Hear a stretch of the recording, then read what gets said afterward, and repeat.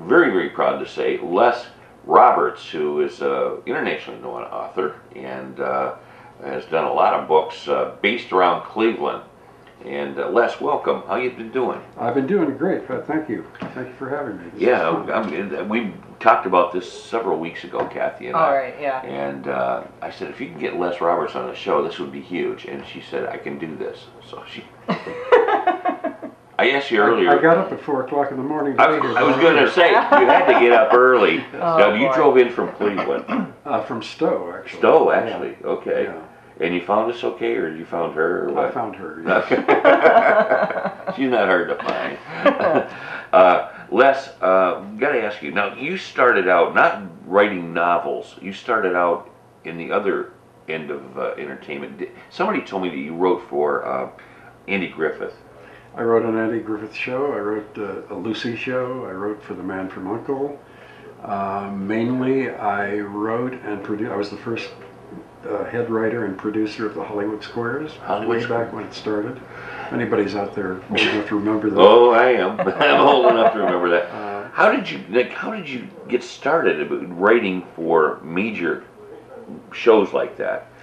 Uh, I was very fortunate. I was living in New York at the time, uh, and I was asked to uh, do a couple of sketches for a, a, what I used to call a cabaret, a nightclub comedy show. Uh, Uh, and uh, I, I, I did that. And the morning after it opened, I got a call from uh, the William Morris Agency in New York, and they said, "We'd like you to be a client." And I said, "Great." They got me, you know, several uh, television shows on the East Coast, including the Jackie Gleason show. oh wow. I had to go down to um, Miami Beach to do that. Mhm.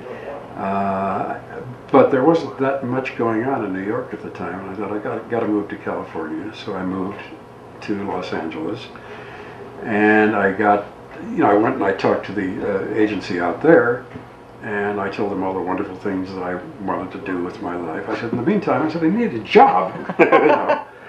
So they got me a job writing a, um, a game show on NBC called Showtime.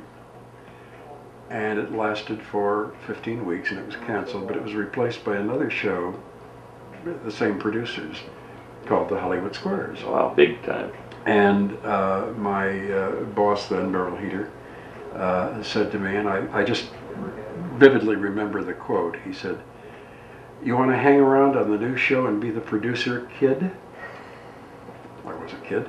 Uh, well, I didn't even know quite what a producer was, but I knew it had something to do with starlets in Hollywood. So I said, Hey, great. uh, and you know, there I was with this huge show, and I met every, almost every celebrity alive back then. Yeah. You know, and uh, it was very exciting, and I did that for three years, and uh, Prior to that, Les, did you have a day job that got you? You know, because when you're not in the business until you really hit it big like that, I mean, did, did you? How did you support yourself? uh, oddly enough, I worked in bookstores and record stores. And, Yeah. uh, you know, just Just make enough to get by. right, right, and uh, all the time I was writing. Uh, I also wanted to be an actor, and I did act for a while. Mhm. Uh, Anything significant? no. Or? Uh, No, I did a lot of plays Yeah. and uh, uh, uh, extras in, in uh, television shows. Right, You know, I wasn't going to make a living that way. right. Uh, so I started writing, and I loved that. I did it for many years, and then somebody came to me uh, and said um that he was a producer, a movie producer, uh, and that he had these two investors, and they wanted to do, and I quote, a private eye movie like Casablanca. And I didn't have the heart to tell him that Casablanca is not a private eye movie. it's just because Bogart is in it. Right, right. So I said okay, and I went home and I wrote like the nine-page story, and he loved it, and the investors loved it, and they loved me, and they wanted me to be in the picture, and they wanted me to direct the picture. What they didn't want to do was pay me, Oh Lord. and they said, uh, "You go home and write the, the whole screenplay, and if we like it, we'll give you X number of dollars."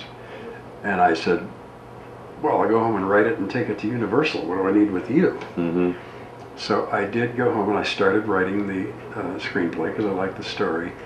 And some small voice back here said, It's a book. Do a book. hmm So I, What year was this? This was in approximately 1985, Okay. 84, 85. Uh, and I said, okay, and I started writing the book, and I got 30 pages into it, and I thought, oh my God, this is what I should have been doing my whole life, is writing books. Because I've always read books, Mhm. even as a kid.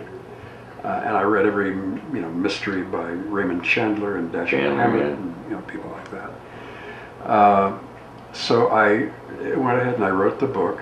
And then I didn't know what to do with it, and my agent out in uh, Los Angeles didn't know what to do with it. Uh, because she said uh, at, the, time, she said, Well, I just know the people at the studios and the networks. I don't know about publishing. Right. So, fortunately, a friend of mine uh, read the manuscript, and she called me and she said, uh, St. Martin's Press in New York is doing a contest for the best first private eye novel. She said, and your your uh, manuscript fits it perfectly. And I said, come on, people don't win contests. and she said, just m- mail it in. I'll pay the postage if you want me to. I should have let her. uh, so I put it in the mail and I forgot about it for about three months. And then I got a call from New York, and they said, "You've won the contest. Come to Wow. come to Baltimore for the big uh, annual convention." And uh, I was on my way. And that was 27 books ago. 27 books. Well, number 28 is coming out in June. Really? Yeah. Am I in it or anything? Not yet, Not yet. but you never know. You never know. Thank you. I'd like to think that I could go down in history as a, a subject in one of your books. I want to mention this, Les. Yeah. The Andy Griffith, you know, that's one of my favorite shows, so It's that's why I everybody's keep favorite bringing it up. It, uh, um, it, was that back in the, the Barney days, or was this in the later days? Uh, Uh, Barney had left. He'd Uh, left. Don Knotts had, had left already, which I was, which was very disappointing to me, because I just adored what he did. oh, great! Yeah, he he's walks great. on the screen and you laugh. yeah, Uh, but uh, uh, at the time, a, a good friend of mine uh, that I went to school with, George Lindsay. yeah. You went to school with George. Yeah, he, he was playing uh, Goober. Yep. Uh, so you know, I uh, you know I got to hook up with him again for a while, and of course uh, with uh, with Andy and with uh, So how's how's that work, Les? When you write, say you write a segment or a show, yeah. um, are you on the set with them? No. You know, you you just write it, submit it, and they take Yeah, it. Uh, but you know, I, I visited the set a couple of times Did because you? I wanted to, you know, I wanted to meet Andy. Griffith Absolutely, because, absolutely. Uh, uh, and he was the most astonishing, astonishing man. Uh, and you know, when, when we lost him, what was it last year, about Yeah. two years ago? Uh, I, I read stuff about him that I didn't even know. What a what a really astonishing human being he was. Uh, and I'm, I'm very thrilled to have written for him. And of course, um, uh, Opie is now one of the top Yeah. movie directors. Absolutely, yeah. Uh, and uh, so, I, you know, I, I had a lot of fun doing it. Of course, we lost uh, George Lindsay here last year as well. Right, right. And uh, I, I I find it amazing that it seems to me like you had some luck, which I think is part of making it big. I think anybody has luck, you know, unless Yeah. you dig in a ditch. And even that, that's what you want to do, you're lucky. Yeah, you're lucky. um, when I was a kid, I always wanted to be. I'm, I'm one of these frustrated writers that written things that's never gone anywhere. But as a kid in, in high school, I remember my teacher saying, "Pat, you'll never make it because you're not disciplined." And I find that she was absolutely correct. All these years later, you have to be a disciplined person to write. Um, in your scenario, in your case, Les, do you write special times during the day or in the morning, in the evening? How do you do it? Uh, normally, I get up somewhere around 7 o'clock. Uh, I have my coffee. Uh, I uh, read the paper, uh, or I, I watch local news Right. because I figure I'll find out what's happening, you know, in the world at night. Um, and at about well, whatever you know, whenever time I feel like it, uh, I go into my office, which is 24 feet from my bed, uh, and uh, I, I start to write. And basically, I write until two or three in the afternoon. Really? Yeah, uh, and uh, you know when I take a break, you got to you, you just can't do that. It's not like you know making sausages. Mm-hmm. Um, you know, I'll go on the internet and I'll read my email or I'll get on Facebook or something like that. But basically, I'm there until two or three in the afternoon, uh, and you just have so many hours in a day you can do that. Right. Uh, but then at night, if I have nothing to do, which is rare, but you know, if I have nothing to do, uh, instead of watching some dumb television show, I will go in and I will read what I wrote in the morning, and I will fiddle with it and fix it and change a word here, and oh, I don't need that paragraph. Rewrite. That that kind of thing. Yeah. Uh, and if I don't go in at night, I do that first thing in the morning when I start to work. I'll look at what I did the day before. Uh, and I write uh, I'm, every day, Every day. seven days a week. How long does This it is my- take you to knock out a, a, a novel? Uh, if I'm left alone, about six months. Six months. Yeah.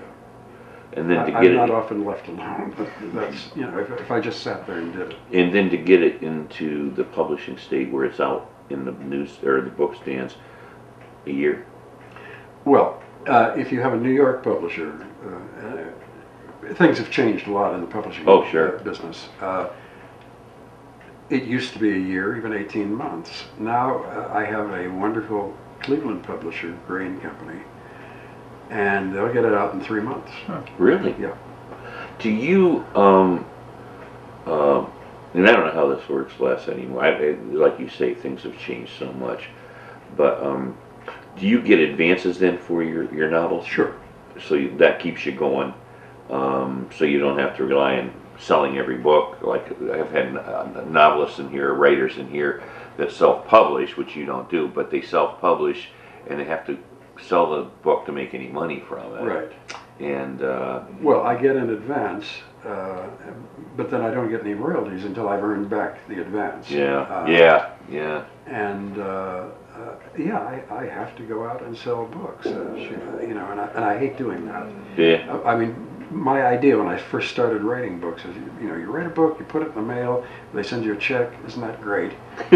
uh, but uh, you know, I have to be out there. I have to do radio and TV, Right. and uh, I do a lot of appearances. Of course, I'm going to do one, uh, you know, out here in uh, Yeah. Dubuque County. And, uh, in when is that, two- Kathy? Um, that's going to be on Sunday, April 21st.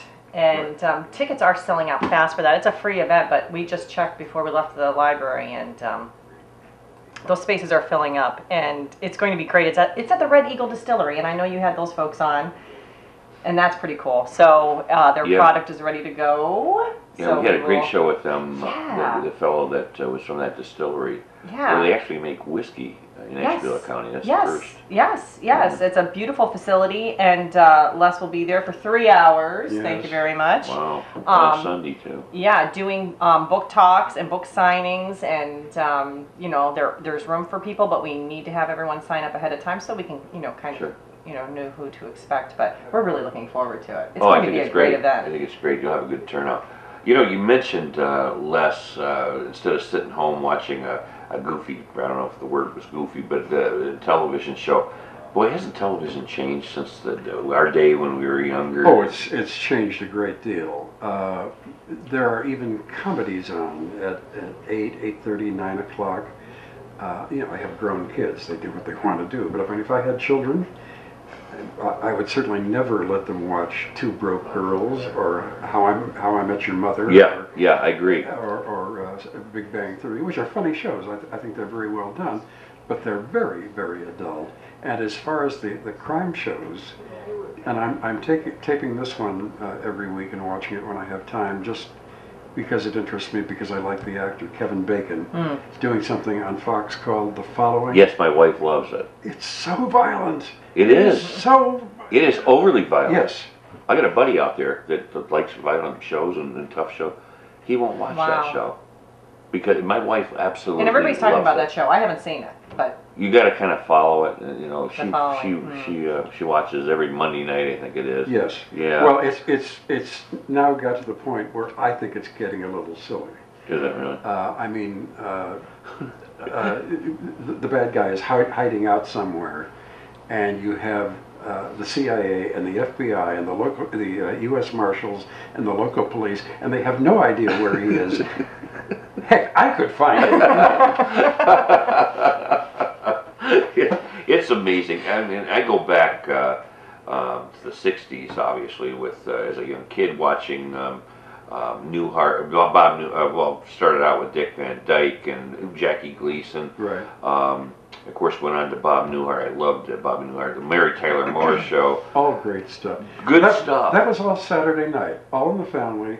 Uh, Mary Tyler Yes. Moore, Bob Newhart, and then. Uh, Even Gleason was a Saturday night with Honeymooners. yes, yes. Uh, and then Carol Burnett after that. hmm And uh, of course, you know, there was no way of taping anything back then. Mm-mm. So you didn't go out on Saturday night. You sat there and you watched, and that was great, great stuff. Good TV. Good TV. I I, I, I remember uh, sitting with my mom and dad and sisters uh, watching those shows. I mean, even and this sounds so klutzy to people probably now that uh, think that you know this guy's really old or something. I I, I am, but.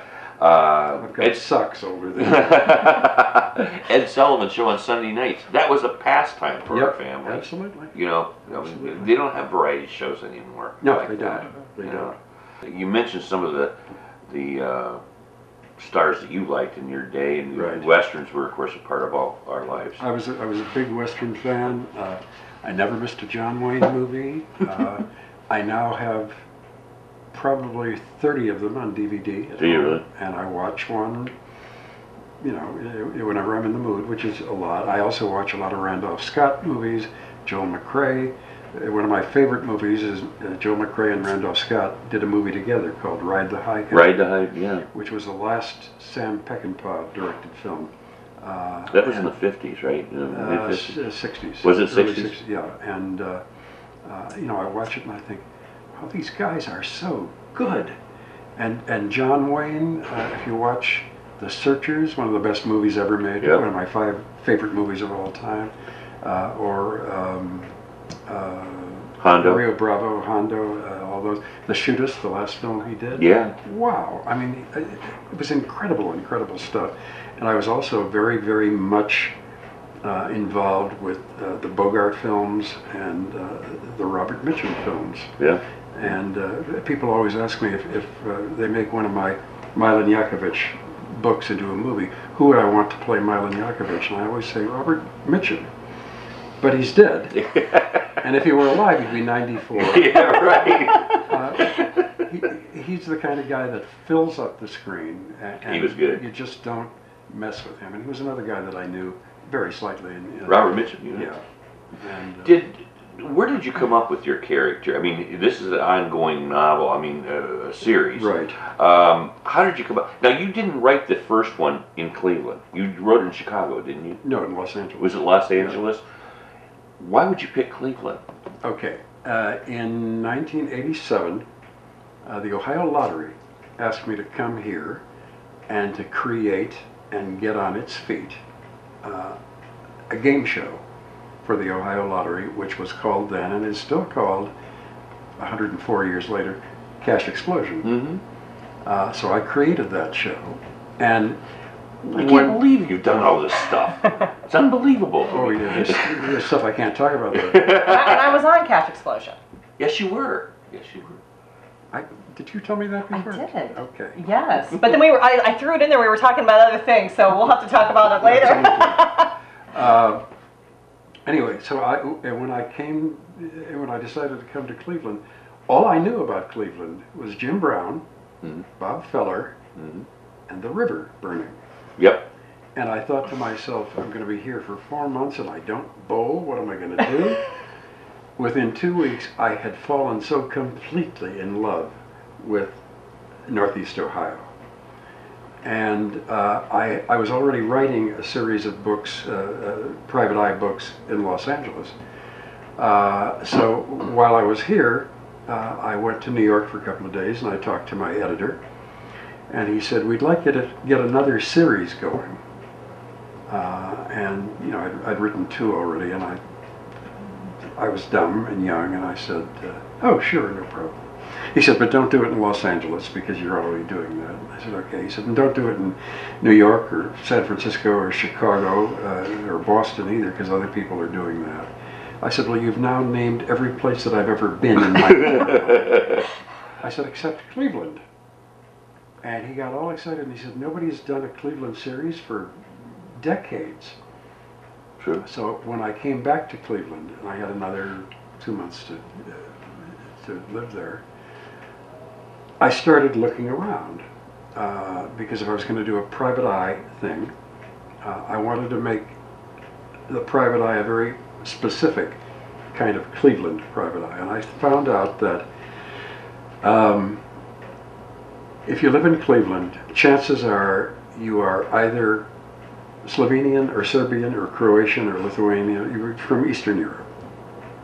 And I started doing some research, decided I was going to make him a Slovenian. Right. Uh, interestingly enough, when I was coming back from New York on the plane, I was sitting next to a very attractive woman, because that's what I do. and uh, uh, so I said to her, I'm, I'm new in town, I don't know very many people, you want to have lunch sometime? She said, okay. So by the time we got to lunch, about two weeks later, I had decided on a Slovenian guy, and I started telling her about it. She said, "Oh, that's interesting because uh, uh, I'm Serbian." Her, her, her, she was married. Still was married. she, she said, uh, "My maiden name was Jacovich." And I said, "Oh, that's interesting." We got, you know, talked some more. You know, when you met somebody for the first time or something, you talk about your family. So I told her about my children, Valerie and Darren, and she told me about her brothers, Bob and Milan. And I said, wait a minute, Milan Jacovich? I said, that is the most strong, honest, ethnic name I have ever heard. Do you think your brother would mind if I used his name I'll be there. as a private eye? And she said, well, I don't think he'll mind, but he's not a private eye. He's a dentist from Parma. I'll be there. And I am happy to report that, what is it, 25 years later, he is now the most famous dentist. I bet. Have you met him? oh, we're good friends. Is that right? sure, we've become good friends. And by the way, he's, he's famous only a little bit because of the books. He's quite a guy. Some, some wonderful stuff. Uh, That's so that's that's how the, the character came about. Did And- you, did you, um, of course, everybody, um, looks at writers, as the guys that, uh, look at the, the street people and they go into bars and they live that kind of life, I mean, mainly when we were younger probably. Well, I was going into bars before I was writing. Yeah, yeah. me too. Uh, but when you went, did you did you get to meet a lot of your characters? Did you base them on people that you met in bars or in different locations? Every character that I write about, I've either met or I've been introduced to or I've seen on the street or in a bar or in the supermarket. And I gotta tell you, I never go anywhere without this. This is a recorder. And if I see an interesting face on the street, uh, I will, and you won't even know it.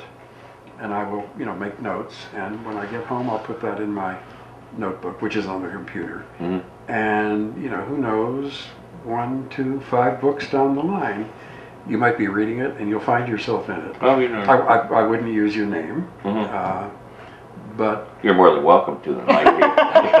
Well, no, a lot, a lot of a lot of people love that. And as a matter of fact, there are there are many um, uh, benefits that go on, and they contact me and they say, "Could you donate one of your characters, Donate. one of your yeah, one of your character names to you know the, the, the winning bidder?" And I do that a lot. Mhm.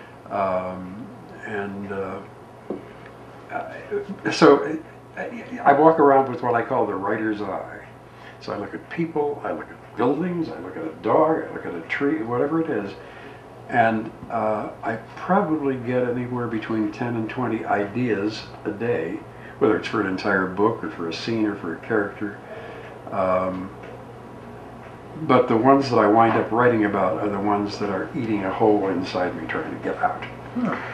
I find it amazing because now when you when you do write a book, say with Whiskey Island, Yes. which is your latest. Shall we Can you hold hold that this up, please? so Mhm. everybody can see? All right, Absolutely. you buy that, uh, of course, in bookstores all over the world. But you- with that book, did you know how it was going to end Yes. before you were before you Yes. put it on paper? Yeah. Okay. Uh, I, I don't do an outline. Uh, a lot of writers do. I, Right. I have good friends. Robert Crais is a very good Mhm. friend of mine. He writes a 60-page outline. I once said to him, I said, you're writing a 60-page outline. I'm writing 60 pages of my book. Uh, I always know who did it and why. uh, and who gets killed, of course. Uh, what I never know until I sit down at the keyboard is how we're going to catch the killer. Uh, and so uh, a lot of the creativity uh, flows out of my fingers as I'm working. Uh, and uh, very often I'll get halfway through a book and I'll say, okay, this is not going anywhere at the moment because he's done all the investigating that he needed to do, and I've got a hundred page book here. Let's kill somebody else. so very, very frequently, and I think I think just about any uh, professional mystery writer that you read, there's always one, more than one death, Mm-hmm, uh, unless it's a major death. You know, somebody tries to kill the president or something like that. My wife's got a, a, a, a thing for watching the Lifetime movie network, I think it is. Uh-huh. And she has me DVD it, and then I have to watch them with her. And you know what? Some of these shows are pretty good. They're mur- usually murder mysteries, almost like a John Wayne movie. A lot of them are the same premise. I mean, you almost could. We sit and, and part of our fun evening is all right. This is going to happen next. This is going to happen next, and we sit and talk about that. But a lot of the um, like they they throw different pitches at you where you think you know what's going to happen and they don't. They don't. And I think that's a good sign of, of good entertainment. I enjoy that portion of it. Um, even though there's some of them I don't particularly care for, but uh, I do enjoy a good murder mystery. Well, and, I, I and think that's so. the thing with your books too. I mean, because it's there are so many characters and so many different scenes that you are presented with all of that. Yeah. You know, Yeah. in each book, and that's what makes it really interesting. Well, uh, it- a lot of those things in my books are what we call red herrings. Uh, I, you know, I'm putting them out there so you're going to think, oh, well, he did it, I know. Yep, yeah, yeah. 20, 20 pages later, you're, you're going to know that it was her that did it. Right. you know, that kind of thing. right. And, you know, the more characters I have in the book, the more confused you're going to be. Keep them guessing. Sure. Keep them guessing. Uh, and uh, it, it- what's interesting about that, and I, I always tell people this, uh, all the characters in the book, not the regulars who appear in every book, you know, but the characters that I introduce in every book, um, they're not all murderers, but they're all suspects. And therefore, they are all in one way or another corrupt. hmm Yeah. I know you had a question, Kathy. Well- you tell. oh, are you going to tell us how corrupt you are? right. That was the lead-in. Thank you. Thank you for giving me that. Um, no, actually not. But you know, along with the characters, it's just so interesting to read because of the descriptions that you use about. I mean, not just the Cleveland area, our own area, or other things that you've you've put into each one of your novels about from Mentor to Painesville to Cleveland to you know a store, a shop, uh, a bar, uh, a, a street, a view, and how it's all described. And I like to read it because of that familiarity. Mhm. Do you know what I mean? Mhm. It gives you that I I, I know them. I need to Mhm. find out what happens to them because I have that Sure. connection. hmm Well, I love to write about uh, what I see every day, what you know, what I look at every day, and I get to downtown Cleveland probably two, three times a week, um, and I have to tell you that whenever I see the downtown skyline, I feel my blood moving a little Really? faster. Uh, I just uh, uh, we had a, a huge convention here uh, in October called the BoucherCon, which is the uh, yearly mystery and suspense convention, and almost 2,000 people show up, writers, fans, everybody. And we have it in a different city every year, and in 2012 we had it in Cleveland. Uh, and I was giving a talk. To give several talks because I was one of the guests of honor. Well, I had to give several talks, and in one of them I said, This is my town. And everybody applauded. but I feel like Cleveland is very much mine. I was born in Chicago. Mhm. I lived in New York for 10 years. I lived in Los Angeles for 24 years. I lived in Georgia for two years. I lived in Hong Kong for several months. Cleveland, and, and when I say Cleveland, I mean greater Cleveland, is you- my town. Do you, um, of course, you live out on the West Coast, completely different weather. Does that bother you here? No. The the winters and, and the. Well, you know, I grew up in Chicago. Well, that's true. I Yeah. Yeah. winter. you That know. says it all right there. Uh, and Uh, strangely enough, uh, in the, I've been, you know, in this area for 22 years, 22 and a half years. Um, there are disasters in almost every other neighborhood. I mean, if you live, uh, you know, down in Tennessee or Arkansas, uh, tornado, tornadoes come through Yeah. and blow your whole town off the map, or there's floods, or there's earthquakes. Nothing happens here. It rains, snows, you know. So you have to create things to happen, right? Exactly, exactly. Yeah. Um, So I'm, I'm very, very comfortable here, and people, you know, after 22 years, people are still saying, when are you going back to Los Angeles? And I always say, when I leave Greater Cleveland, it will be in an urn. 'Cause I just, You're gonna stay here. I just love it here. I just love Now it. you're gonna be taking a trip around Ashtabula County, I think, with Kathy today. We're today. Yes. around today. Palling around. palling around. He's my Um, buddy. So you could be actually doing location sites for possible future books. Well, one of the reasons uh, that I uh, asked Kathy to spend, you know, part of the day with me, uh, besides getting to look at her, is, uh, see, it's getting later, I'm warming up. I know, I know. I'm in for it today. Huh. uh, is, is because uh, I have the next book in mind. I'm, I'm working on one now that I'm almost finished with. Uh, and I have the next one in mind. And uh, Milan Jacovich and his uh, sidekick, uh, Ko, uh, Kevin O'Banion, uh, they're going to have to wi- have to wind up in a small town. Uh, and much of it is going to be in a small town, uh, kind of away from Cleveland. And it, it shouldn't be any place like, you know, in Nebraska. You know. Right. Just, you know, get in the car you, you make, you know, kind of a hefty drive and you're somewhere else.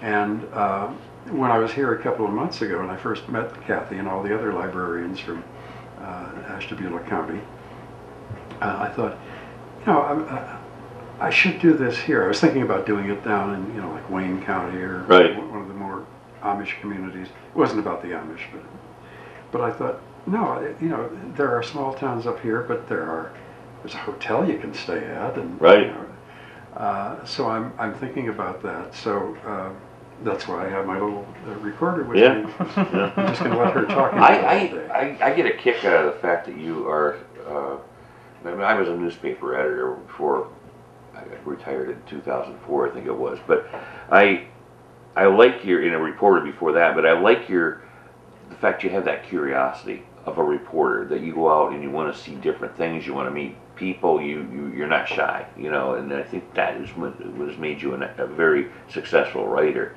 because you go out and you add to your repertoire of, of like characters that Kathy said you have lots of them in your stories. I did get an email here asking you to hold that book up, Kathy. Oh, sure thing. Hey Matt, could you do me a favor and zoom in on this book?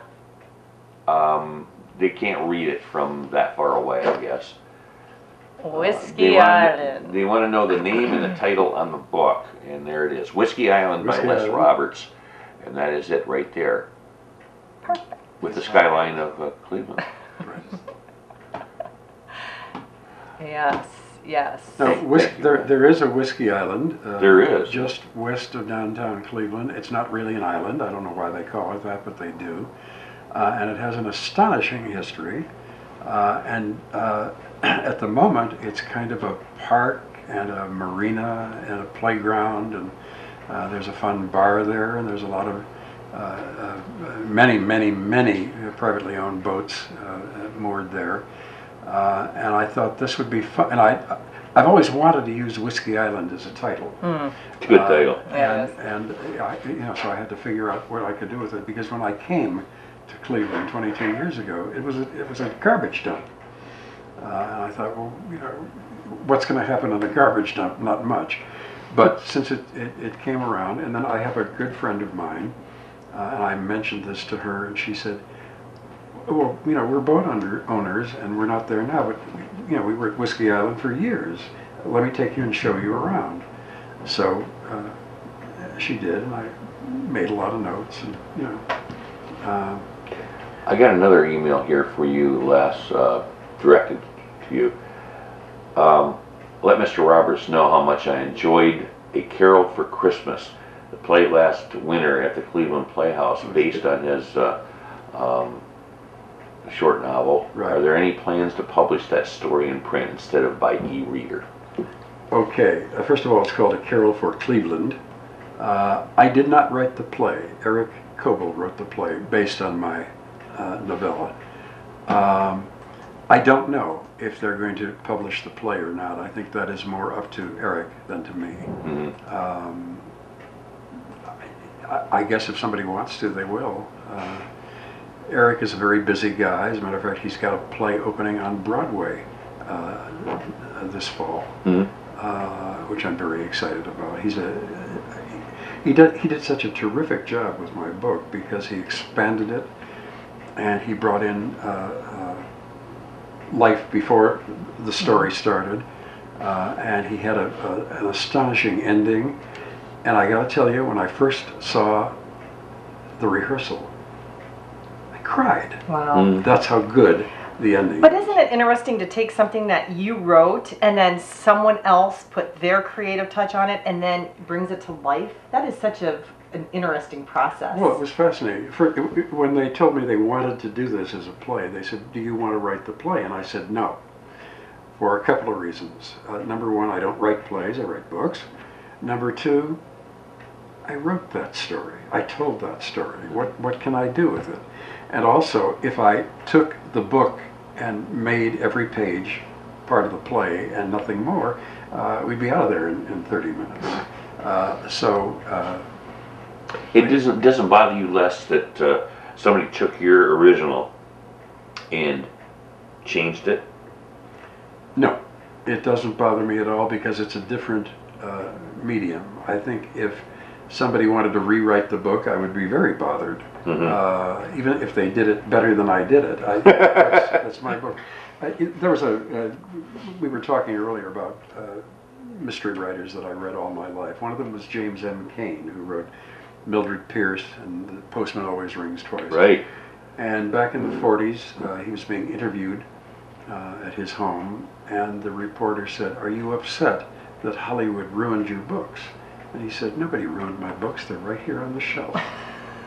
there and you that's go. What, that's the way I feel about my books. So if you, you know, if you want to make a movie, I would certainly pray that you made it vaguely resemble my books.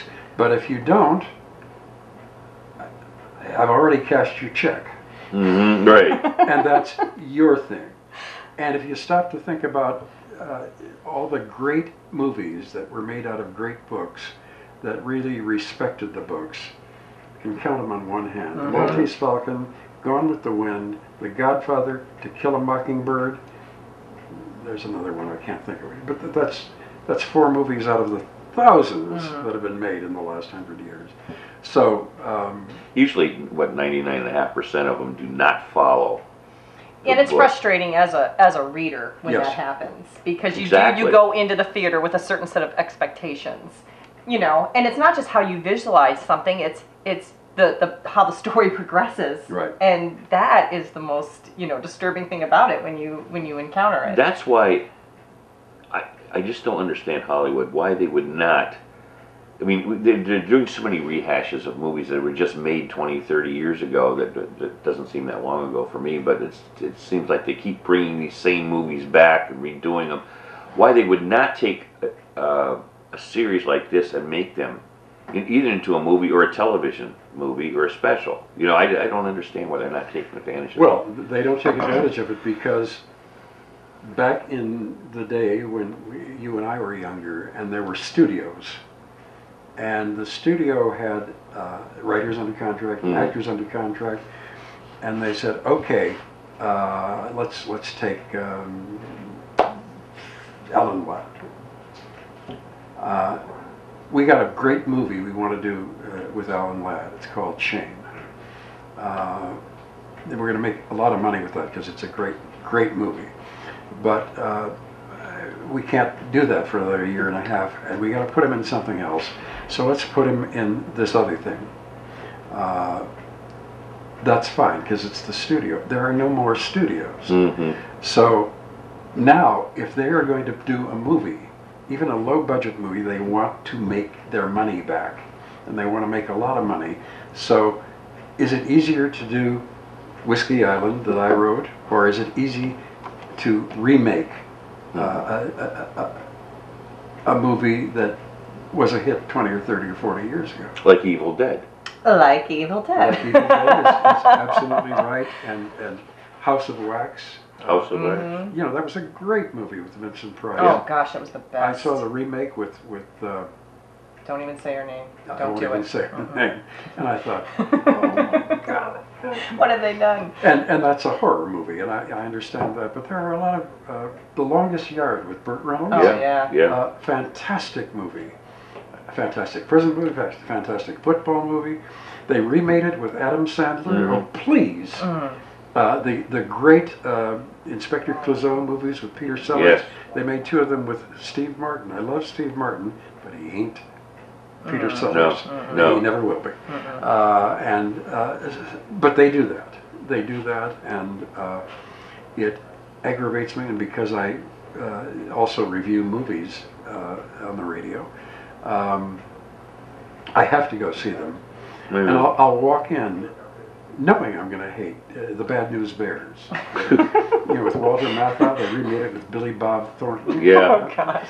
N- n- not even close. Right. So um, that's what they do, and that's why I think a lot of television, not all television, but a lot of television, is getting better than movies. When they option, take an option out on Yeah. your stories, do, do they pay you for that? You bet your bottom Oh, right. Uh, because basically, uh, they say, okay, we want to make a movie. Uh, you want to make a movie out of my book? Okay, give me some money, and then you have a year or two years, you know, whatever we decide on. Uh, uh, at which time you either make the movie or forget about it, and it reverts back to me. Mhm. Uh, so I've I've, uh, I've lived on option money. Absolutely, absolutely. See, I don't know how that works. That, Yeah. It's interesting to me. Uh, the same with agents. I have a lot of friends that want to be writers and all that stuff. It's hard to get an agent. Um, and uh, obviously, you've had agents since the beginning. I mean, you Well, I- I've had the same book agent from the very beginning. have you? Yeah, it's 27 years. Yeah, that's a long time. Yeah. That's a long time. Um, this has been- And he's gotten so old. Not us, though. Not us. The name of the book. He lives is in New York. He's not going to hear me say. No, okay, that's okay. It's safe. The name of the book uh, out now is called Whiskey Island. What's the name of your next one? Do you have a name Well, yet? yeah. Well, that's kind of up in the air. It's about harness racing Really? in Northeast Ohio, and I was going to call it Dead Money, uh, which is a, a racing term for a, a horse that is going to run out of the money. Uh, but I, we discovered that somebody else has written uh, a book with the same title. Ooh. It's, it's not anything like my book, uh, but it's with the same title, and it's coming out on ebook uh, a couple of months before mine. Uh, it may be like in May. Uh, so I can't use that. And then I came up with something, uh, uh, you know, win, place, and show. I'm calling it win, place, or die. Uh, but now that's up in the air too because I met with my publishers yesterday. Uh, I think the last thing I heard was death on the back, death on the back stretch. Um, so I don't know what they're going to call it, but it's coming out in June. That I know. Okay. And uh, you know, as soon as I know, I'll put it on Facebook. Sure. All over the place. So you had to spend a lot of time at the track, huh? Uh, I, I did spend a lot of time at the track. It's, it's called research. Yes. Not so much watching the races. People watching. People watching I get to, I got to go back, you know, what they call backside. Uh, and I was going to call it backside until I realized there's another meaning to that word. Uh, Hey, what, do we sell books or not? Come on. and uh, and I loved going back there and being with the horses and feeding them carrots and they took me you know for a jog around the track in one of those sulkies uh, and uh, uh, I've, I've been working with the guy in fact he, he's getting uh, credit as a co-writer on this one. Uh, although I wrote basically every word in the book I had literally a stack of material this much from him uh, stuff that he wrote down uh, Hmm. about the characters and about the the rules and the, the feeling you know there. And uh, uh, he is uh, also a horse owner and a horse driver.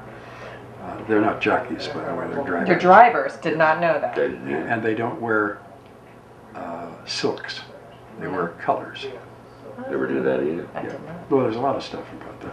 But So you'll have to read it. You'll Yes. learn these things. I get it. Uh, so uh, you know th- that was the fun part for me, and uh, uh, I you know I've been back there a couple of times, and uh, uh, a couple of months ago, I guess in the yes in the fall, uh, uh, I took my girlfriend and her mother there, Mhm. And her mother has never been in the same county as a horse. I mean she. Uh, she loves animals, but she's never been near a horse. And now she's feeding them, she's petting them. Is that right? She, she took a, you know, she's in her 70s. She took a, a, a ride around the, uh, the track, uh, and they even let her sit on a horse. And she's never right? touched a horse. Wow, that's She cool. was so thrilled. Yeah. They were so thrilled. Yeah. I mean, it's, it's, it's fascinating, and there's a lot that goes on in the book that is uh, on the backside. Uh, uh, because all those people are, are very involved. Sure, somebody back there gets killed. Um, No. That's just what a what a great job you have. I really. I mean, isn't that you have to experience every day something new. seriously? oh, yeah, absolutely. Talk about lifelong learning. Yeah. You know what I mean? And then it's learning with a purpose. You're, you you take what you've observed, you've and then you've added your own thing to it and created something. It is it is a fascinating process. Oh, yeah. Well, it is. Several years ago, uh, I, I, I have a good friend uh, in, in Cleveland, and she mentioned to me that her brother had moved to Cleveland, uh, and he was a uh, ceramic artist. And he said, she said, you ought to see the uh, uh, lab that he rented. And I said, well, I'd love to. And it's uh, in the East 30s, uh, just off Superior. Uh, and I, uh, I went up there, and it's an old, old, old, old building. It used to be a barbed wire factory, Mm. and now it's an artist studio. Huh. Uh, and there's a, a kiln, kiln there that uh, you know gets hotter than even uh, a crematorium. And I'm looking around, and the whole plot just went bing in my head. the book, by the by the way, is called The Duke of Cleveland. Les, this has been wonderful. I really enjoyed having you on. This just flew by. This was a lot of fun. Oh It yeah. was, uh, it was something, and you'll, you, I think you'll find a lot of different things with Kathy today that are interesting around the area. Right. And, Well, uh, I hope so. I'm looking forward to spending some time. But if you want to spend some time with Les Roberts, because this is all very interesting, he is going to Uh, be. Join us this morning. Get in the back seat of her car. Join us, right? I have two more seats, two more seats for you, and then we're done. Um, no, join us Sunday, April 21st at the Red Eagle Distillery in Harpersfield. It's Ashtabula County's first and only distillery. It's going to be awesome. Les Roberts will be there. We'll be talking about Whiskey Island. And and by that time, I'll know the name of the book. Oh, perfect. And he will he will let us know the name of the book and we will just be able to have a book talk, book signing, and it's going to be so much fun and we want you to join us. Absolutely, absolutely. So check it out. And if you need more information on this, get a hold of Kathy at the Conneaut Public Library. Thank you so much, Les. I appreciate it. Thank you. I appreciate it.